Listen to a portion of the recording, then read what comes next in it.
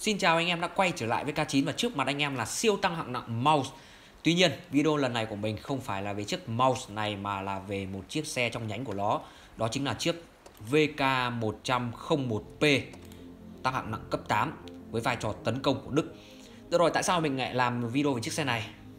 Như anh em đã biết ấy, thì nhiều video mình đã đề xuất chiếc xe này để uh, có trong gara và làm nhiệm vụ chặn thiệt hại như là HT12, HT15 rất là tốt thì uh, hồi đấy mình có làm cái nhiệm vụ uh, chặn thiệt hại gấp 3 lần số máu ấy thì đây là chiếc xe mà giúp mình làm xuất sắc nhiệm vụ đấy.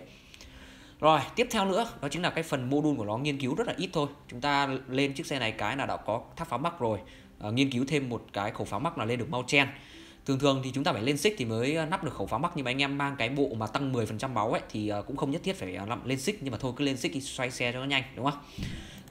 Đây là phần model của chiếc VK101B thứ nhất là cái phần thân đúng là họ hàng nhà mau rồi đây là phần thân giống của mau rồi. À, vắt nghiêng bên trên xích thì to wow quả xích này to thật đấy. Đấy cho nên là nếu mà chúng ta bắn được phần dưới này thì cũng sẽ bị giảm độ xuyên đi khá nhiều anh em nhỉ.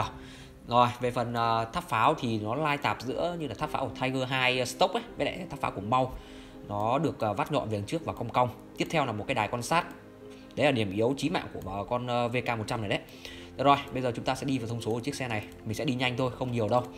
Khẩu pháo mắc của chiếc xe này sử dụng là 12,8 cm, sát thương trung bình của đạn AP và ABCR là 440 và đạn nổ là 630. Độ xuyên trung bình AP 220, ABCR là 260 và đạn nổ là 65. Nói chung đây là một độ xuyên trên mức trung bình, gọi chung là tốt của một chiếc xe tăng hạng nặng tấn công.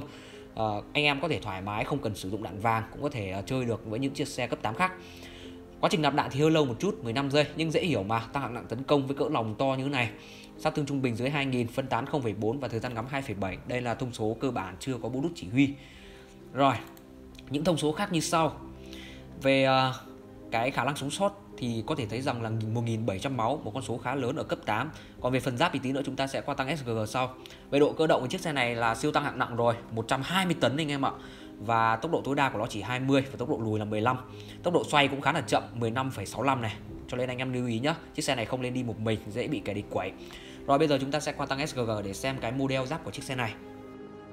Trước khi vào model giáp thì uh, có cái độ ổn định nòng pháo như sau 0,25 và 0,25 0,18 nói chung thì chúng ta không nên đòi hỏi một chiếc xe tăng hạng nặng tấn công đối với lại chiếc xe này đi, đi chậm thì chúng ta cũng uh, từ tốn mà ngắm thôi. Rồi về giáp thân 200 130 120 khá tốt.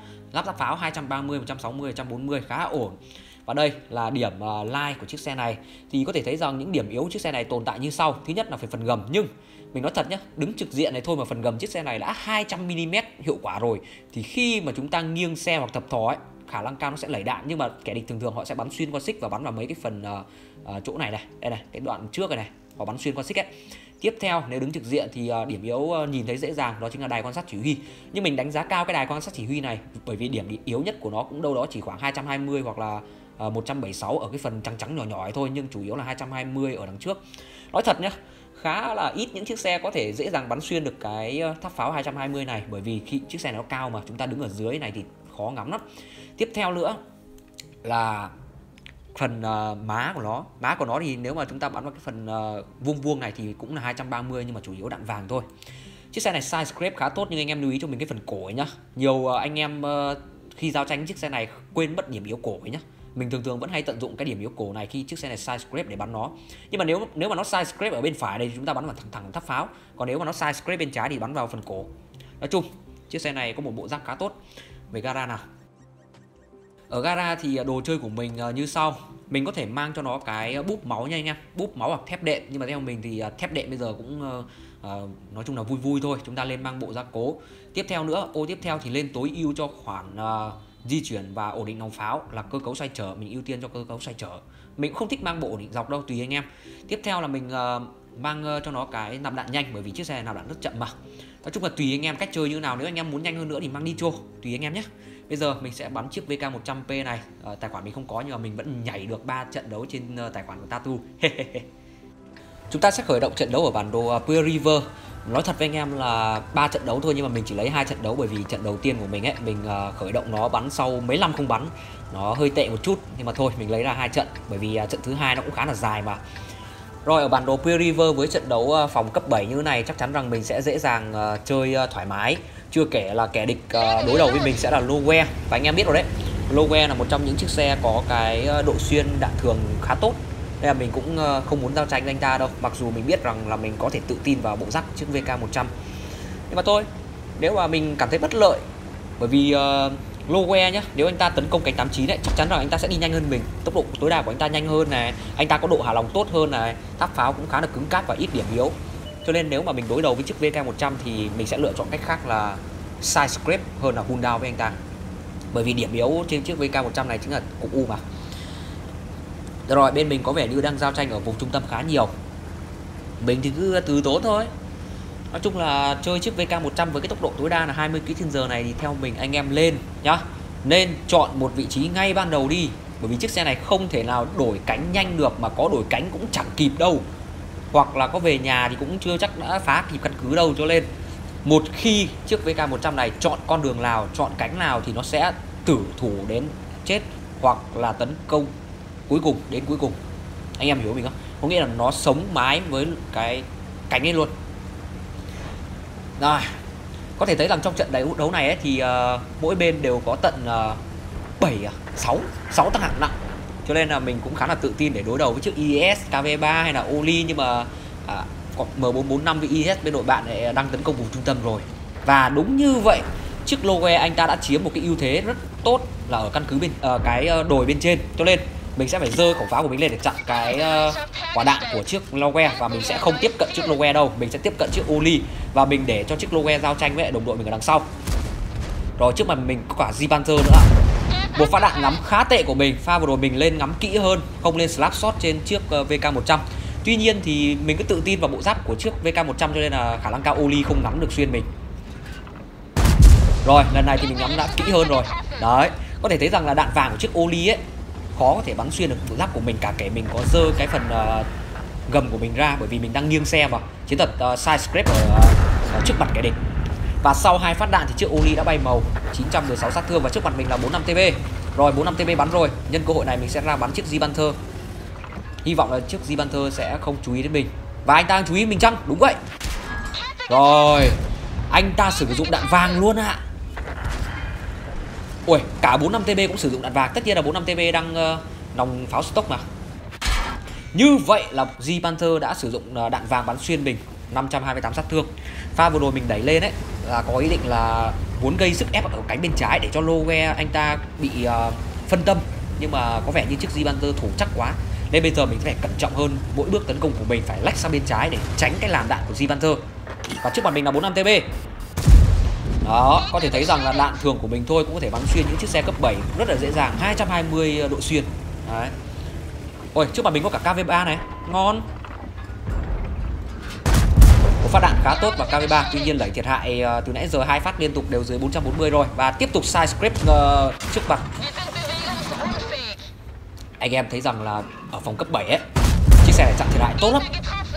Anh em đứng giữa đồng cho kẻ địch bắn cũng được miễn sao là họ không làm đạn vàng mà nếu mà họ có làm đạn vàng thì độ xuyên đạn vàng của anh, của bọn họ ấy chưa chắc đã tốt. Và cơ hội của mình tiêu diệt chiếc Zibanzer bởi vì anh ta vừa bắn rồi. Đó. Đối với những kẻ địch mà sử dụng đạn vàng như là pháo chống tăng ấy, thì tốt nhất chúng ta lên chờ cơ hội để giao tranh với họ. Không lên ờ, thập thò hoặc là side script bởi vì họ có thể bắn xuyên tháp pháo bằng đạn vàng. Thế này thế nọ. Nói chung là chơi khôn ngoan anh em ạ. Chơi tăng hạng đạn tấn công không phải là cứ đâm đầu lên hoặc là chặn thiệt hại là tốt đâu và chúng ta phải à, biết lựa chọn à, mục tiêu mà chơi à, đổi thiệt hại và size script với họ. Rồi trước mặt mình là chiếc Lowe và đây là phát đạn gần như là tệ nhất của mình trong trận đấu. Mình không thèm ngắm kỹ luôn mà slap shot này. Mình khá là chủ quan trong phát đạn vừa rồi. Đáng lẽ mình cần phải dừng lại và bắn chiếc Lowe nhưng mà thôi trận đấu này kết thúc và mình chỉ bắn được từng đây thôi. Bây giờ chúng ta sẽ sang trận đấu thứ hai và trận đấu đấy thực sự là mình đã mắc một sai lầm đến đoạn cuối ấy, đáng lẽ là có thể chiến thắng. Rồi trước khi uh, sang trận đấu thứ hai thì anh em có thể uh, theo dõi cái uh, khung cảnh tuyệt vời của bản đồ uh, Pure River với uh, quả tháp đẹp tuyệt chân. Đây mình cho anh em xem quả tháp này đẹp không? Ấy hùng vĩ không? Ấy mình còn chưa để cái uh, đồ họa cao nhất ấy à đồ họa siêu cao ấy mình quay video này là mình không muốn à, nhòe video ấy mà. Bởi vì uh, YouTube nó hay lén video. Trận đấu tiếp theo ở bản đồ Runbird Đây là một trong những bản đồ thành phố và rất là thích hợp cho những tăng hạng nặng tấn công. À, Có những chiến thuật như là tận dụng à, vật cản để thập thò Tận dụng các góc tường để side scrape. Đấy thì uh, nói thật với anh em là VK 100 chỉ có tốt nhất là trong những cái bản đồ như thế này thôi. Gmail Shop, Rumbert Paris à, vân vân và vân vân. Có những bức tường là vui rồi. Và cơ hội của mình để ra bắn chiếc Tiger 2 cứu chiếc Isu. Một phát đạn bắn khá tốt. Mình đang chắn đạn cho chiếc Isu đi vào và hy vọng chiếc Isu sẽ cảnh giác và không ra nữa. Rồi, như vậy Tiger 2 đã bắn và chiếc Isu vẫn đi ra. Anh ta không biết rằng trước mặt anh ta là có Tiger 2 và AP AMX AP nhưng mà anh ta vẫn đi ra. Mình nghĩ rằng là Isu hơi liều một chút. Mình đã chắn đạn cho một lần rồi, nhưng anh ta vẫn đi ra và anh ta bị đứt xích rồi, cho nên mình lại phải đi ra để cố gắng là chắn đạn của chiếc Tiger 2 cho chiếc Isu một lần nữa. Và mình biết ngay mà, Isu không cảnh giác gì cả chiếc AP anh ta đứng ở cái góc bên kia, Tiger đứng góc bên này.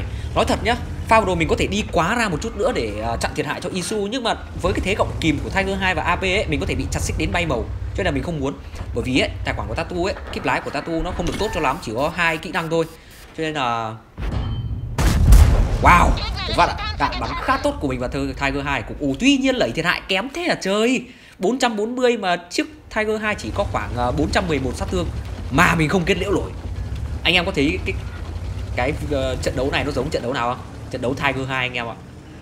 Thiệt hại lấy đều kém. Chán thiệt sự. Rồi trước uh, những nàn đạn của kẻ địch là đạn uh, thường thì mình cũng đã chặn được 2001 rồi. Một con số khá ổn định đúng không anh em? Chặn được 2001 là hơn uh, 1007 máu rồi. Tài khoản Tatu thì uh, Tatu nắp cho chiếc xe này là quạt thông nòng và ổn định nọ dọc. Nhưng mà mình nói thật nhá mình mang ổn định dọc trên chiếc xe này ấy, tâm nó vẫn to mình vẫn phải ngắm kỹ anh em ạ mình chia sẻ thẳng thật luôn. Mình sử dụng ổn định nòng pháo trên VK ấy, nó vẫn cần phải ngắm kỹ khi mà di chuyển như thế này bởi vì tâm nó vốn khá to mà. Cho nên là đằng nào thì lúc nó dừng lại thì chúng ta mới ngắm bắn kỹ thôi. Cơ hội của mình để tiêu diệt chiếc Tiger 2 một pha đạn bắn khá tốt và hình như mình đã nhìn thấy chiếc TNH quay trở lại, cho nên là mình cũng cảnh giác và lùi lại ngay. Anh em có thể mang đi trôi trên chiếc xe này để chạy 24 km trên giờ nhé theo mình nghĩ rằng là chạy 24 km trên giờ cũng nói chung là cải thiện một chút độ linh hoạt cũng không sao cả. Rồi bên mình thì đang thiệt mất uh, tỷ số là 46 lỗ mất 4.300 máu. Đây sẽ là một trận đấu rất là khó khăn. Và càng về cuối mình uh, càng khó khăn hơn. Và như vậy chiếc TNH đã không quyết định đẩy cánh bên mình mà anh ta đẩy sang chỗ Skoda T56 bởi vì Skoda T56 bên mình chỉ còn 17 máu thôi. HT bên mình thì ai cũng tàn tật hết rồi. Emu chỉ còn một hit Tiger 2 một hit Skoda một hit. Rồi chiếc Swissler đi uh, tốt quá nhở. Hay quá như vậy Skoda đã tiêu diệt chiếc Whistler và mình đang cố gắng chạy về chỗ Skoda để yểm trợ cho anh ta. Như vậy là Tiger 2 đã bị chiếc TLH tiêu diệt. Hmm. Tình thế bây giờ rất là khó khăn Tỷ số là 58 Trời ạ à, Một phát đạn Mất cảnh giác của mình anh em ạ. À. Mình bị giật mình. Biết sao mình bị giật mình không? À, Mình ngắm vào cái vị trí Scorpion là mình chưa kích cò đâu Nhưng mà vì mình vừa nghe tiếng tinh một cái Trong trong rep play thì nó tinh nó hơi chậm hơn Nhưng mà ở cái uh, chơi uh, trực tiếp ấy Thì uh, chiếc Scorpion nó tinh một cái Thì mình giật mình tưởng Scorpion bắn mình Nên là mình phải bắn ngay và mình lùi lại. Thì đấy là một pha gọi là vừa xử lý hơi kém của mình Cũng như là mình bị uh, giật mình nhá. Tất nhiên là mình chủ quan đấy pha vừa rồi mình ngắm chủ quan. Mình cũng sợ mà Scorpion có thể sử dụng đạn vàng và bắn xuyên mình uh, tháp pháo mà. Rồi TNH đang cố gắng chạy ra tấn công Skoda lý do mình quay trở lại cái vị trí uh, E3 này ấy, là do mình biết rằng cũng sẽ có kẻ địch móc vào cái đường đằng sau này và mình không muốn không muốn để họ móc vào đâu. Bởi vì tất cả đồng đội của mình đang chú ý tập trung vào cái căn cứ bởi vì đây là trận đấu đôi công mà. Đồng đội ai cũng đang tập trung vào căn cứ rồi cho nên là không ai cảnh giác cái cánh đằng sau ấy là rất là dễ bị họ thọc sườn. Rồi bây giờ thì mình quyết định uh, chuẩn bị uh, chấn thủ cái cánh đằng sau này. Trận đấu này thì à, tăng hạng nặng bên mình chơi khá kém ấy một vài người tự dưng đẩy láo anh em ạ. Kiên nhẫn là sức mạnh anh em. Trận đấu có thể gặp bất lợi nhưng đôi khi chúng ta sẽ có thể mang về chiến thắng. Skoda vừa chơi một phát đạn bắn khá tốt tuy nhiên thì EMU vừa bắn trượt rồi. Rồi mình sẽ quyết định phòng thủ cái cánh bên này. Như vậy là Caliban bên đội địch đã vào trong vùng trung tâm rồi. Thế là cái đường giữa sẽ có hai người. Và bây giờ mình sẽ kiên nhẫn chờ đợi xem có kẻ địch uh, định xông vào không. Mình căn sẵn luôn Mình rất là kiên nhẫn anh em ạ. Chơi tăng hạng ờ, nặng tấn công phải rất là kiên nhẫn. Rất là kiên nhẫn. Xem có ai đi vào không nào.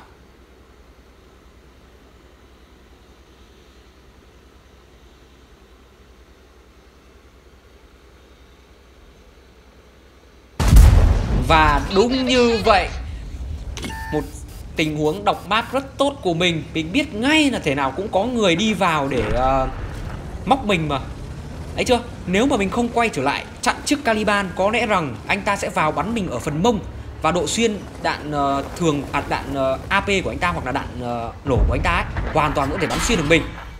Được rồi Chiếc AP AMX30 đã sử dụng đạn ABCR bắn xuyên phần gầm của mình rồi. Cái này dễ hiểu thôi, chúng ta phải chịu thôi. Anh ta sử dụng đạn vàng mà.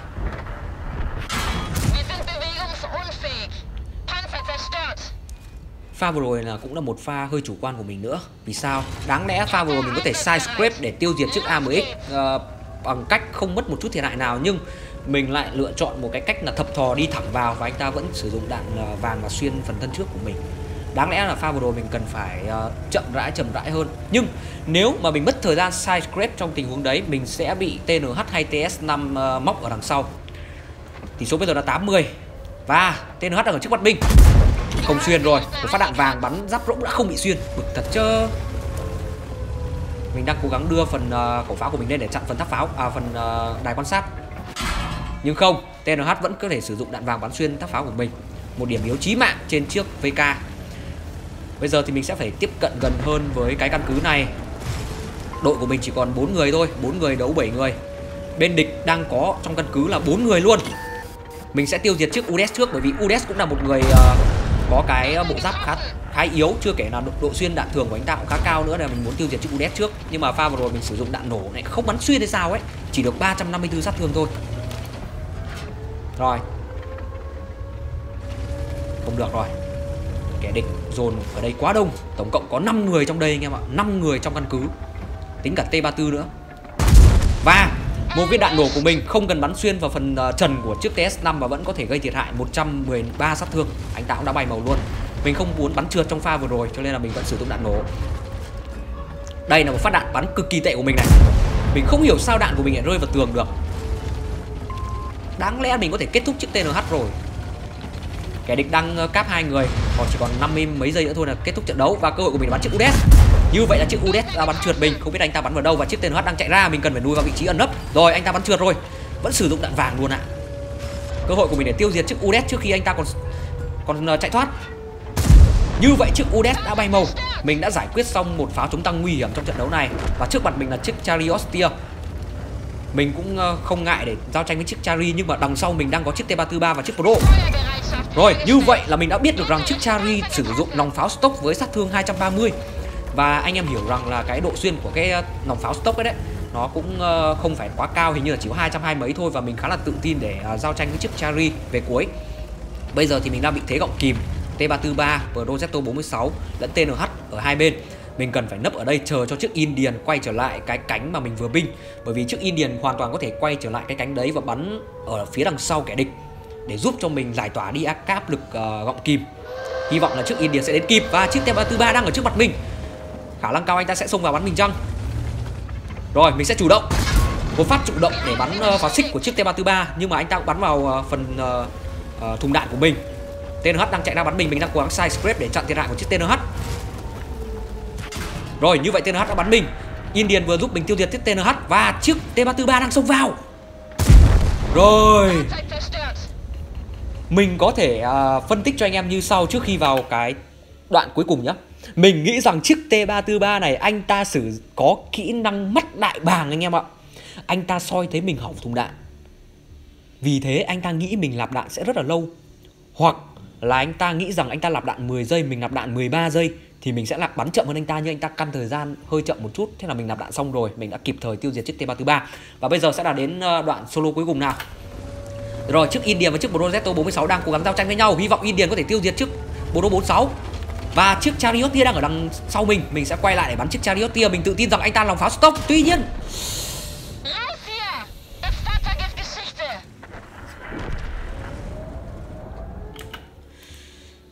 Một tình huống rất chủ quan của mình Khi mình cứ nghĩ rằng tháp, Cái tháp pháo của mình đã ở bên trong rồi. Mình biết rằng là pha vừa rồi khả năng cao là trước Indian bắn vào phần cục U. Anh em ạ mình nghĩ rằng anh ta bắn vào phần cục U bởi vì cái phần uh, gầm của mình ấy mình đã nghiêng như thế này rồi nó sẽ hiệu quả lên tới 230 mm cho nên mình nghĩ rằng là pha vừa rồi anh ta ngắm vào cục U và đã xuyên. Rất là đáng tiếc cho mình ở cái tình huống vừa rồi mình khá chủ quan. Và mình đã phải xin lỗi trước Indian. Trận đấu vừa rồi đáng lẽ mình có thể chờ cho chiếc Indian đi móc chiếc Chari và mình sẽ nhân cơ hội Indian bắn một viên và mình sẽ chạy ra bắn chiếc Chari. Đấy mới là chiến thuật đúng. Nhưng một sai lầm lớn của mình đã đưa đội đến thua cuộc. Nhưng mà tổng quát lại cả trận đấu này thì ờ, mình cũng chỉ làm đến thế thôi. Thua là thua và chúng ta sẽ phải chấp nhận. Đây là thành tích của mình ở trận đấu ờ, Rumbert rất là đáng tiếc mình lấy được bờ lần đầu luôn khá ngon hai caliber. Và defender mình có chặn thiệt à, phá cáp được 89 điểm luôn khá ngon. 4.208 thiệt hại à, 4.288 thiệt hại ờ, à, 3.750 chặn. Tổng chỗ này vào cũng đâu đó khoảng à, bao nhiêu? 8.000 đúng không? Khoảng 8.000 khá ổn đúng không anh em? Anh em mà, mà bán được phòng cấp 7 tốt tí nữa thì chắc cũng chặn được uh, gấp 3 lần. Ơ mà chỗ này gấp 3 lần? À không phải chưa. Nghìn bảy nhân 3 chỗ này chưa anh em ạ chưa gấp 3 lần đâu. Chúng ta cần phải bắn ờ, tốt hơn nữa chặn nhiều hơn nữa. 970 ờ, kinh nghiệm gốc. Nói chung là cũng không quá là tệ trong trận đấu này. Ở bản đồ Beer River thì chỉ bắn được 3.000 và chặn được 1.000 năm thôi. Tổng kết lại VK101B là một trong những uh, tăng hạng nặng tấn công hay siêu tăng hạng nặng rất tốt ở phòng cấp 8 và mình đánh giá cao nó. Mình còn đánh giá cao chiếc xe này hơn con KV4 nhá. Con KV4 dễ bị đục hơn nhưng mà con VK100 này khó bị đục thực sự. Nó chỉ là bị yếu ở cái phần tháp pháo này thôi. Anh em bắn xong thì anh em lên dơ cái tháp pháo à, khẩu pháo của lên để che cái cục U này đi. Chứ thực sự mình nói thật nhá, bộ giáp của VK100 uy tín. Có khi là còn uy tín nhất trong toàn bộ uh, tăng hạng nặng uh, cấp ờ, uh, 8 ấy căn bản là nó do do nó to nó cồng kềnh cho nên là nếu mà bị kẻ địch uh, thọc sườn hay là ờ, uh, phây hắc ấy có nghĩa là bắn uh, ke ke bên người ấy thì mới dễ bị tiêu diệt thôi. Chứ nếu mà chiếc VK 100 này mà đi cùng đồng đội ấy nó phải gọi là một cái uh, ná chắn ná chắn thép ấy. Con này thì tốt hơn con uh, VK 168 rất là nhiều rồi. Uh, tốt hơn cả con uh, con nào nhờ mình quên v, VK 7501 ấy hình như đang bán trong sơ đồ công nghệ này. Đây. À không phải con đấy không bán trong sơ đồ công nghệ mình xin lỗi anh em. Nói chung VK101P là một chiếc xe tăng trong sơ đồ công nghệ đáng để giữ lại trong gara để chúng ta làm nhiệm vụ chặn thiệt hại anh em nhé. Cảm ơn anh em đã theo dõi video. Nếu thấy hay và hữu ích thì đừng quên thích video, chia sẻ và cái kênh giúp mình. Đừng quên ấn nút chuông thông báo để nhận những video mới nhất. Bye bye.